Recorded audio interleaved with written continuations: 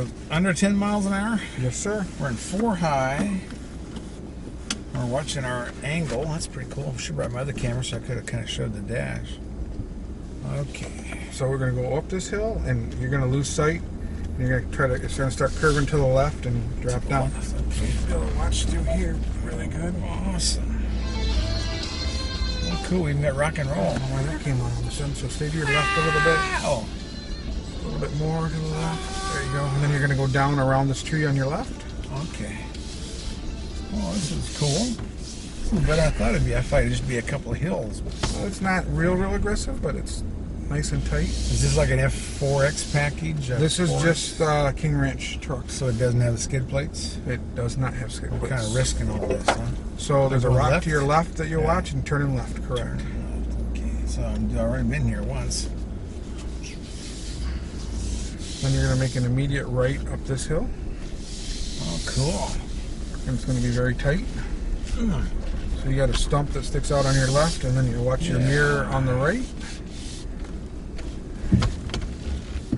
Yep, very good.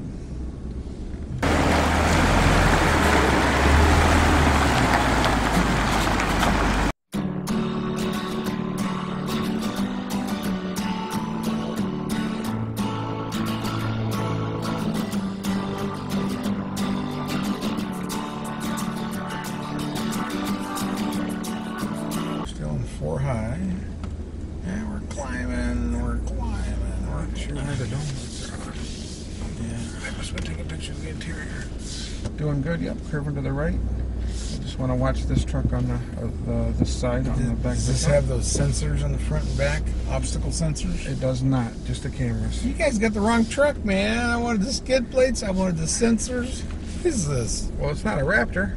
Right. well, yeah, but there's so many good Yeah, no, there is packages Ford FX4. has Yeah. that are made for off-road. So this mirror will be close here, and then if you can stay to your right here, it'll help you set up for this hard left-hander. That sometimes is a three-point turn. Yeah, I can see where You that might, might you might be. get it. If I go fast enough, I bet I can. That's true. Nope, we're gonna have to back up.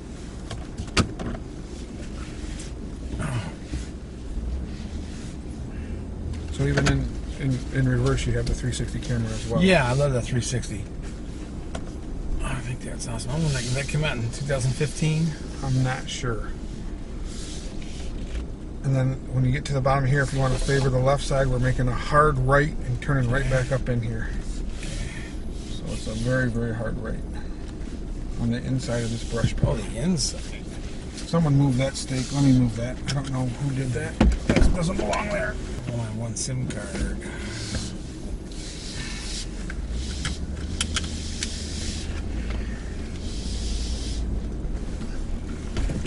And then we're gonna go left around this tree. Okay.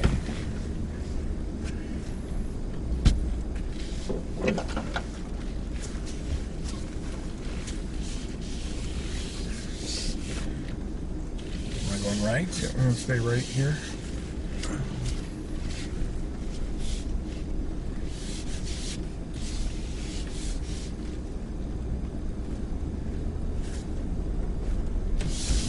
Yeah, I think they're closing up back at the shop at 3.30. They got another program there. Yep. This only takes about 10 minutes. Okay. Oh, oh yeah. Ah. Yeah. Warning. Tread lightly.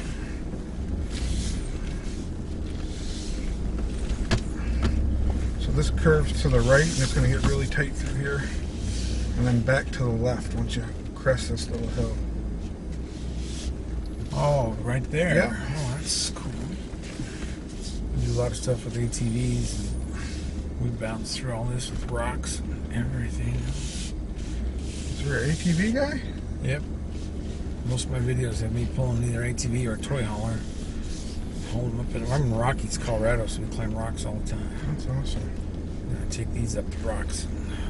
My Go to son Moab once in a while. my son is a pro rider, ATV rider. Oh, really? Yes, sir. Well, he has much faster machines. I'm, I'm a slow old man rock crawler. Well, I I don't get airborne too. I would get airborne in Raptors once in a while, but I don't do it. he races TT, so we're, Oh, we're yeah. we don't get real high, but we we jump some. Yeah. We got uh, Rancher ATV Hondas, which have all the racks front and back Yep, and the yep. electric shift. Tomorrow I pick up a new Honda Pioneer 1000 for review. Cool. And it holds five people and it's got a little dump bed on it. And it's got paddle shifters. Yeah, they're really nice. speed, My yeah. buddy has one. Yeah. His is he's got his street legal.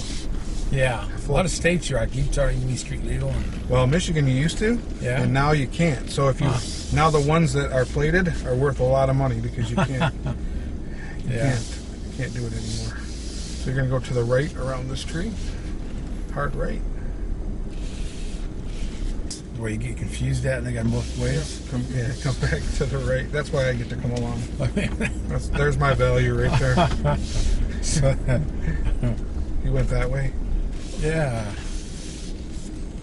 So this sign got knocked over. I'm not sure who was back here being rowdy knocking the signs over. But go to the left here and then stop. And we'll put you in four low to crawl over these logs. So we'll go nice and slow. So Okay. neutral. Four So low. you have be in neutral with your foot brake. Oh. That's right, yeah. Four low. Shift in progress. There you go. Once you put it in gear, it'll go right in. There you Advanced track. Oh, I'll I'll let you look at the logs as we go over them. why are we going over this slow? That's the problem. You can get airborne if you go faster. Holy cow. Lose your teeth. Yeah, really. Well, I got most of them gone. These are all fake ones, man. Ah, ah, uh, ah, mm. There you go, and you can go back into four high if you want, or you can leave it in low if you want to creep through here. It's your choice. Yeah, let's, let's play ball. Now, automatic, it probably won't even engage half the time. Not back here now. Yeah.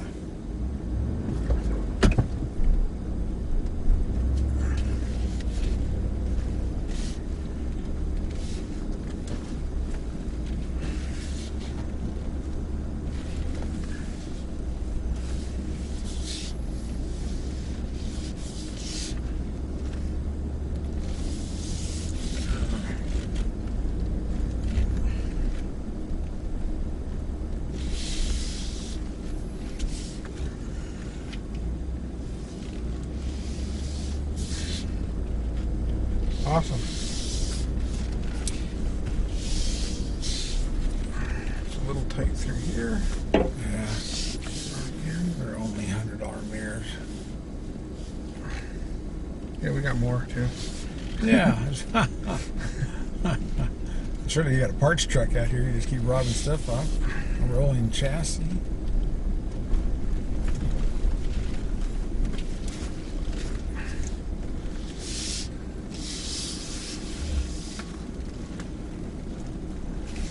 There's a river running through it. Yep, there is. And actually, I asked the turtles to be up here on the log for you. I'm not sure Oh. if they're still there or not. I don't have enough cameras. We'll have to go grab one, put them in the cab, and take a picture. Oh, no, they, they, they must have heard us come through and jump down. Yeah, those chicken turtles. Oh, there's one little one there. But so to the right, and then we're gonna hit the sippy hole here. Oh, good. How fast can I go through the sippy hole? 10 miles an hour, which is about what you're doing. There you go. Let her rip. Hammer down.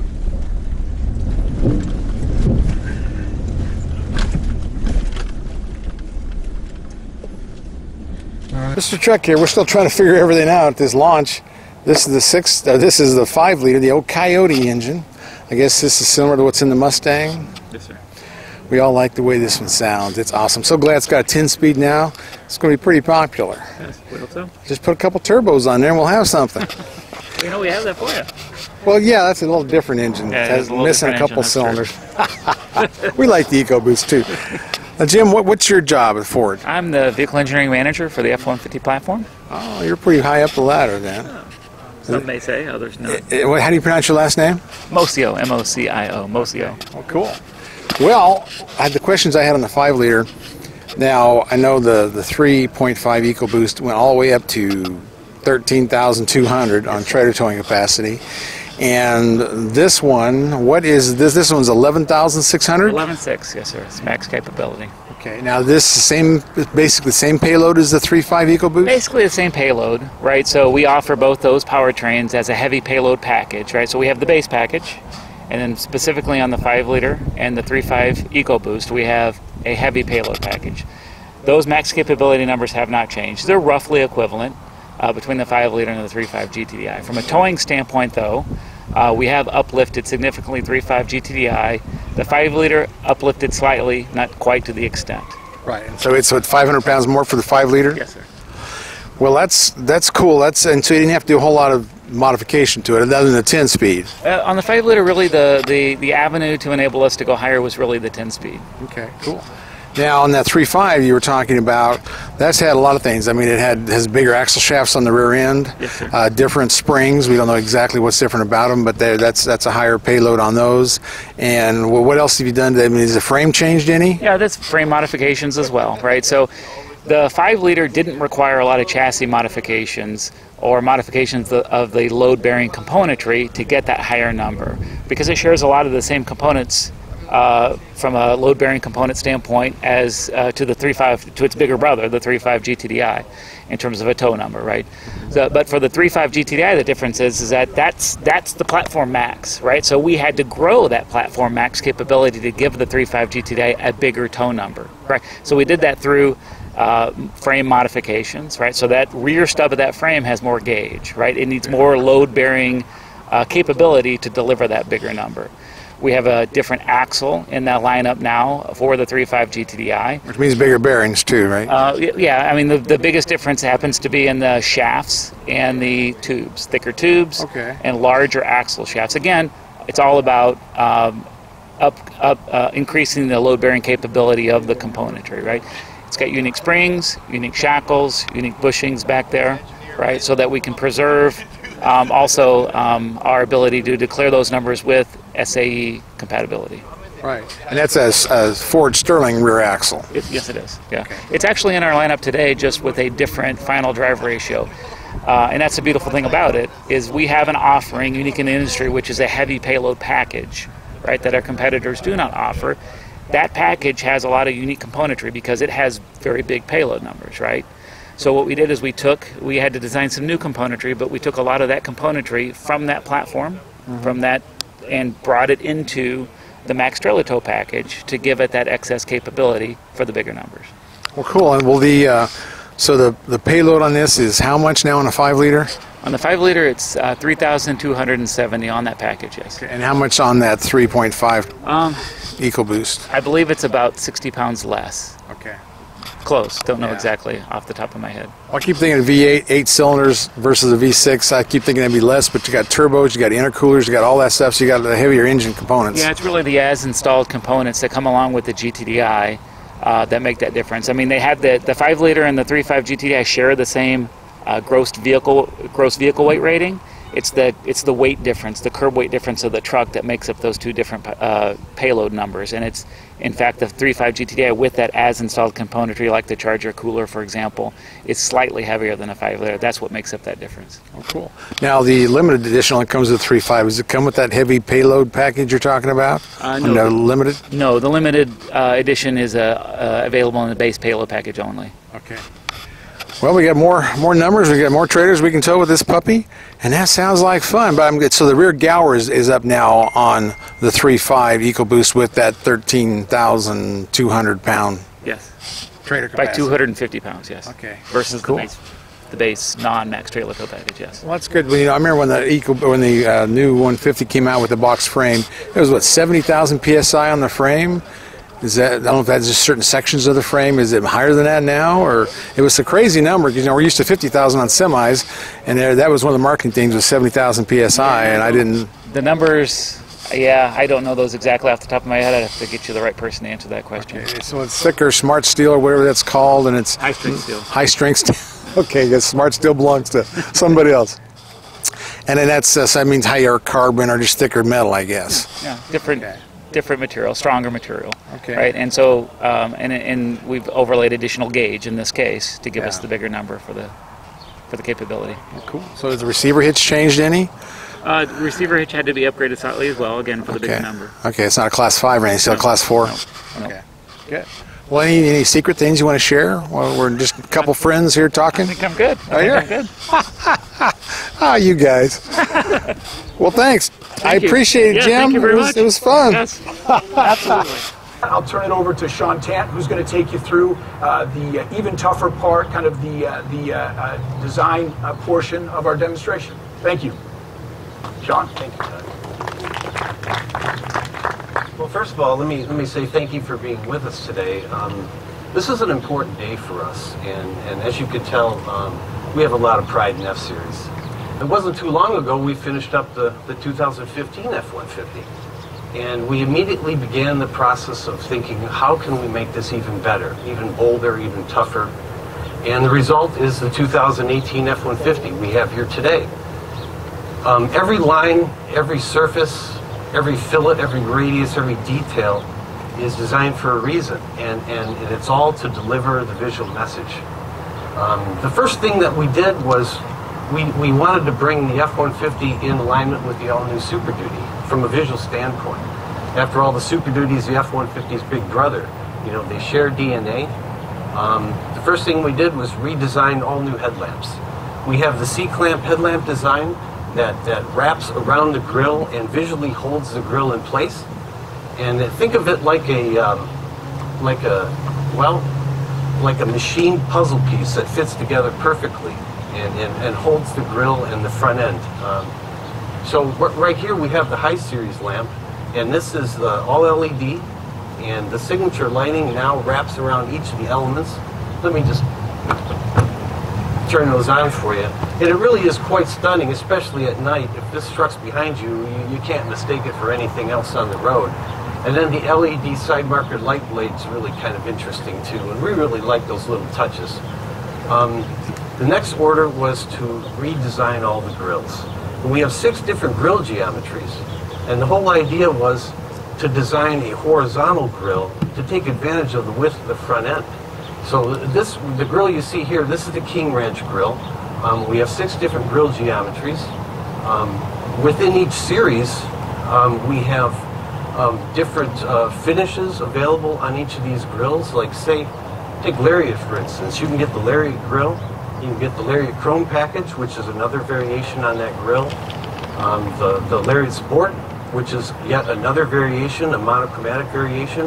And then the Lariat Sport Appearance package, which is a, a different geo- grill geometry altogether. This is the, um, the mesh grill that we're introducing this year, and, and we haven't done a mesh grill since, oh, I don't know, 2008. It's been quite a while. We've been looking for an opportunity to do it. It's a great sporty look, and, and we finally found it, and so it's here. Um, the next thing we did was we designed a, a new upper fascia that goes across the width of the truck, and, and all new tougher looking bumpers. And, and in addition to that, we redesigned all aerodynamics in our, in our air dams for uh, 4x4 and 4x2. Um, on the side, we've carried forward all the signature design cues and DNA, the drop belt, um, the chamfered rear cab, the round wheel openings, and incidentally, we have six new wheels um, in the lineup for 18, starting with 18 inch going all the way up to 22 inch for the limited buyer. Around the back end, we started with all new tail lamps, and, and you can't see it from where you're you're standing, but this is the um, this is the um, LED tail lamp right here that has the uh, signature lighting. There again, wrapping around the elements and containing them, um, which is a reoccurring theme you'll see in the front. So there's a continuity between the front and the rear. Um, also, this has the integrated blind spot information system um, that's built right into the lamp. The next thing we did was we designed new tailgates. So the XL, XLT, and Lariat will have F-150 stamped into the tailgate, and the um, and and we also have three new tailgate appliques for King Ranch, for Platinum, and for Limited, and those are available in in satin aluminum. Um, the interior, we've got uh, three new interior environments. Uh, we have Kingsville for King Ranch. We have Platinum that has Dark Marsala now, and Limited has Navy Pier. And in addition to that, we have uh, new uh, new interior um, for uh, new interior colors for the XLT Sport Appearance or the Sport package. Um, trying to think, we have new exterior colors: gray stone, guard, leadfoot, and magma red. And you know what? I think that's about it. I'm going to uh, introduce uh, a guy that I've worked with for, for many years now. Um, He's our chief program engineer for F-150, and he knows a lot more about this stuff than I do. And he's a nice guy, too. Jerry Farrell. Okay, welcome everybody and good morning. Um, I want to start by just going back three years um, when we changed the game with the um, all aluminum um, alloy um, cab on top of the fully boxed steel frame, um, where we took 700 pounds out of the vehicle and we reinvested that weight savings into more power along with better fuel economy. So it was an and solution for our customers, no compromises. We increased the capability and you had better corrosion and denting resistance. So our promise back then was to build on that foundation, that very solid foundation, and, and with innovative technology and, and customer benefits beyond that. So that set the foundation. Our promise was to improve on that foundation, and that's what we did for 2018 model year. So we're, we're tougher, we're smarter, and we're more capable now with the new 2018 model year. So speaking just to capability, um, with 18 model year, we increased towing by a thousand pounds. So we're now best in class still with an additional 1,000 pounds um, in towing, getting us to 13,200 pounds. Um, again, best in class. Before, still best in class. Um, and we did that um, a number of ways. We increased the frame gauge on the rear end of the frame. Um, the mid rails of the frame were up gauged. Um, we increased the steering gear. Um, we also front axle tubes up gauged. A number of things that got us that thousand pounds of increase in towing. GCW, we increased GCW to 18,500 pounds now. Um, and then still best in class payload before and now at 3,270 pounds. Um, so that, from a capability standpoint, that's where we stand. Um, moving on to smart, um, smart technology. Um, Todd kind of mentioned it previously. Um, these these smart technology features are all designed with the customer in mind. Customer focus, things that help improve how they use the vehicle, what they use the vehicle for, um, more efficient with the vehicle. Um, so a couple of the new features for 18 model year is the pre-collision assist um, with pedestrian detection. So what that is now, it's, it's a system that as you approach a vehicle or a person in front of you um, too rapidly, you will get a visual warning, which is the, the red lights on the base of the windshield you'll get an audible warning with, with beeping, and you'll get a tactile warning with the steering wheel as you're holding the steering wheel. Um, and then if you're still not reacting, the vehicle will brake. Um, so that's pre-collision assist with pedestrian detection. Um, the next feature we've got that's new for 18 model year is adaptive cruise control with stop and go.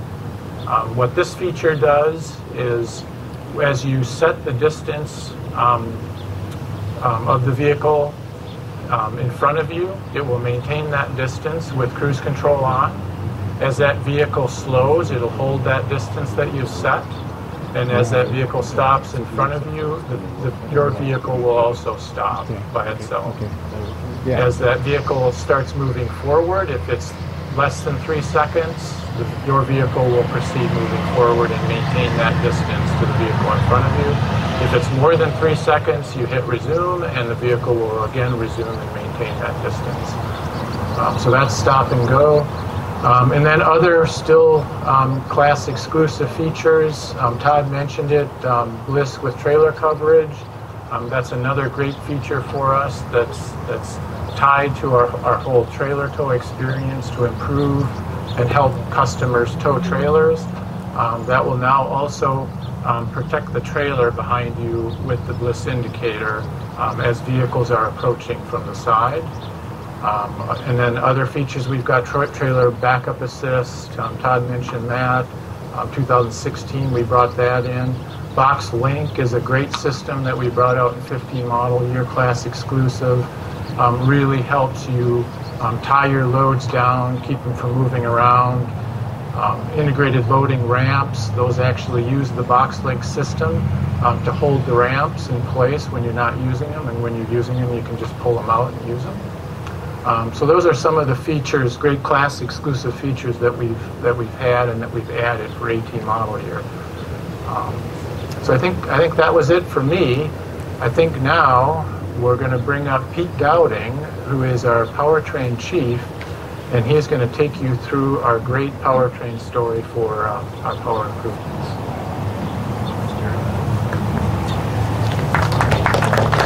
Thank you, Jerry. Uh, the, my name's Pete Dowding, as Jerry said, and I'm the powertrain chief engineer here at Ford Motor Company.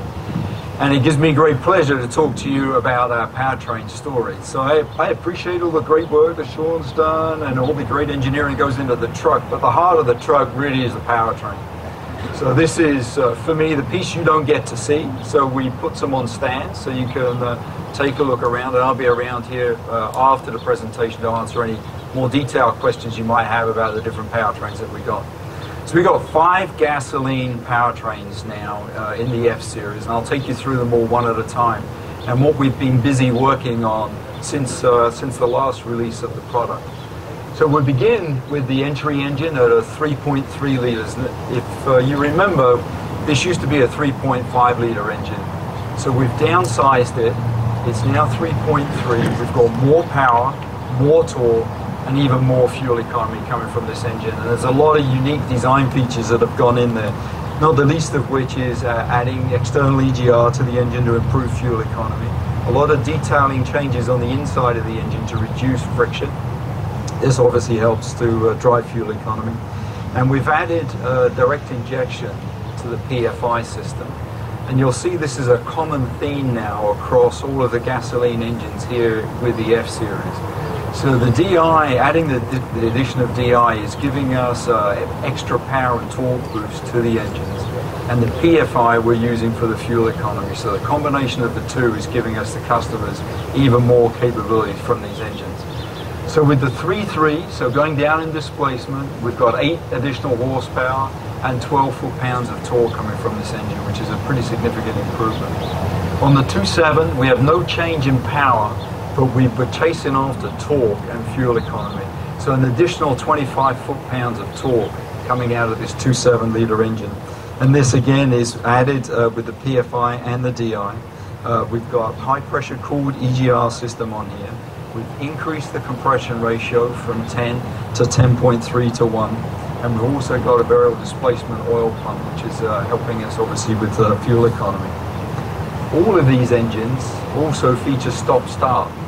And when you drive them, you obviously get to experience that in, in a, about 10 or 15 minutes time, you'll be able to experience that stop-start transition, which obviously helps again the customer with fuel economy. On the 5 litre, we made a lot of changes on the 5 litre engine here. 395 horsepower coming out of this 5 litre block, with, uh, which is an increase of 10 horsepower and an increase of uh, 13 foot-pounds. And if you've followed the work that we did on Voodoo, which is the engine that we put in the in the Shelby, this is, uh, and we put a spray bore block in there to get to the 5.2 litre displacement. We're using that spray bore technology now on this 5 litre. So it's going into a higher volume product. So there's no liners in the bore of this 5 litre anymore. So this is quite a significant uh, change for the engine. Big upgrade in compression ratio up to 12 to 1. New intake manifolds, new rods, new main bearings, and as I said on the other engines, uh, stop start.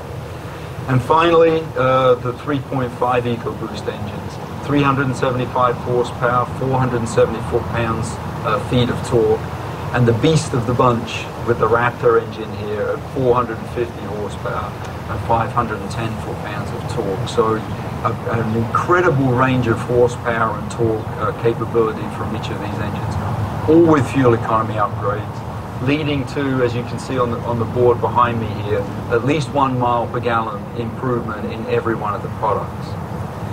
Coupled to these great engines, uh, we've put our new 10-speed transmission. So each of the engines, with the exception of the 3.3, which remains with the 6-speed, has this new 10-speed transmission. We have an example of it behind you that you can take a look at later on.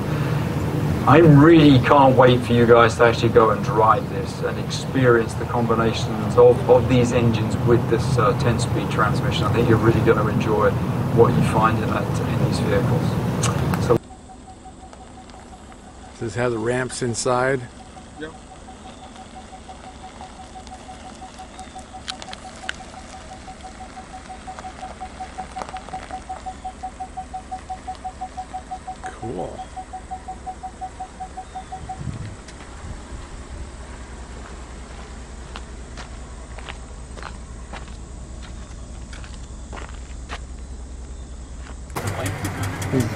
Is this low on oil or what's the deal?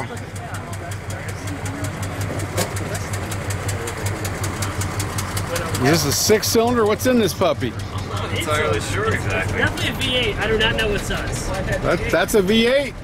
Yep. One. Holy cow. White wall tires.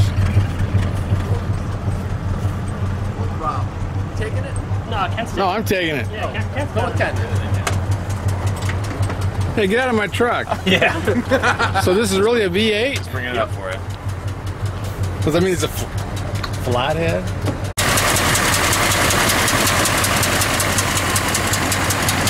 Cool. So this is a fake 48. Uh, Charles F. Kettering. Mm, this is a 1911? No, no. In 1911, the uh, General Motors uh, uh, Delco division, Dayton Electric Company, they came out with electric starter in 1919. It started being available on the Model T, Okay. on both the Cool. T and the TT truck. Yeah. The TT truck was introduced July 27th, 1917. Uh, and uh, this happens to be a 1920 example, but it's identical to um, the uh, original. Uh, And what's the TT TT mean? Just Uh, Model it's T a one-ton chassis, uh, and so they just uh, gave that the designation. All 20 horsepower engines, two-speed planetary transmission. Uh, Model T was introduced itself on September 27th, uh, 1908 as a 1909 model, uh, and by May 31st of 1927, they'd built 15,007,033 in North Holy America. cow. Wow. 650,000 elsewhere by the time they built the last one in August of 1927 in Manchester, England. what's your name, Uh, sir? Mike. Mike Am Skinner. sure I I'm a board quote member over at the Ford Piquette Avenue plant. Sure. Oh, cool. Uh, and Oh, that's um, awesome. Now- 1924, when they sold 2,120,000 Model Ts, that represented 57% of the U.S. market, 50% of the world market, and over half the cars in the world by that time of any age were Ford Model Ts. Wow, I So know. truly the car that put the world on wheels. Well, vehicles back in that era, they had a lot of maintenance. You know, it's like a helicopter guy. Was was it? Is it the You rod bearings, leather? or Well, you, you crank the, you change the you change the um, oil every two to four hundred miles. I change my oil once a year because I don't go more than three or four hundred miles with my T's. Okay. Uh, usually in parades and tours and things. But um, we've got about 50 cars on display at the Piquette plant, the birthplace of the Model T, and the first plant built by the Ford Motor Company.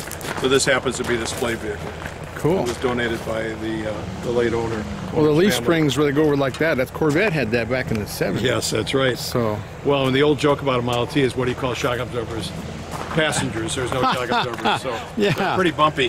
When the Model T T truck was introduced, by the way, we're having trouble with the key, uh, so we've got a on-off uh, switch there. That's temporary. now the pedals, one of those is reverse, and the other one's a Um, yeah, two-speed. Yeah, yeah. What you've got is when you look at the uh, the pedals. The one on the left is your clutch, all the way down is low gear, all the way up is high gear. The middle is reverse. The one on the right is the brake, which is two cotton bands on your transmission. The big lever over here is your emergency brake. Right. Uh, and then the TT truck, the manufacturer's um, uh, spec on this was 18 miles an hour. But you see this the uh, lever right there. Uh-huh. That's an aftermarket Warford transmission. By 1924, there were 5,000 companies that made accessories for Ford Model Ts. So that's that was auxiliary transmission. Yes, and that'll get you up to 25 miles an hour Wow. instead of, Well, instead of 18. This is a modern truck. And then this, the Ford only sold you the chassis from uh, in, in the late teens and early 20s. So this happens to be a, uh, a um, cab that was built by a company called Field Durable Bodies in uh, Owosso, Michigan, Oh, cool. up between Lansing and uh, and uh, Michigan. Yeah, that's awesome. So that's a one-ton, but they didn't have duals on their one-ton back then. No, no, Yeah. no. And of course, they're the same wooden spokes, but heavier duty uh, than a standard Model T. I hear those they're- spokes are very expensive. It's hard to find someone to make wheels I, for. the, my my 14, I just had them respoked, and it was a Amish uh, group out of Indiana. And if you notice, you see these right here? Oh yeah. It's a detachable rim. So Oh. you actually take the wheel and the tire off and swap it out if you get a flat tire or anything. Well, that's good. That's good. Yep. Wow. Well, that's an awesome truck. I don't see any oil leaks or anything. It's not dripping. Well, it does. It does. And the wiring uh, should be hidden up under there. And uh, the battery, that is the location of the battery, but the battery wouldn't have the green shut off on it. oh yeah. Well, that's cool. Well, thanks a lot. Well, you're welcome. And we got tons of pickup truck questions, right? Right. Where do we go for the answers? We go to the Truck Nuts book. Because we're truck nuts. and we wrote the book, Truck Nuts. We're nuts about truck, the ultimate guide to buying a truck, or to Yep. looking at a truck, or judging a truck. You know, whether it's diesel versus gas, new versus used, what your teenagers should learn about trucks, all that. You do all kinds of cool tests. Yeah, we do a lot of testing. We do the Ike Gauntlet, world's toughest towing test up the mountain and down the mountain. We do MPG testing on the highway, loaded with trailers. Yeah. We do off-road testing. A lot of that data is in this book as well, and it's a one-stop shop for truck information. That's true. We test trucks maximum capacity up to the biggest grades you can do on the interstate. Yep. So we really put them to the test. And you know, you can get all the facts you can't find anywhere else. We do MPG tests, which you can't find on any sticker anywhere. So you know, all that stuff that you can't find is in the book. And you can find the book at trucknutsbook.com. There are links to Amazon, Barnes & Noble, and all the other bookstores as well. So read about your truck nuts.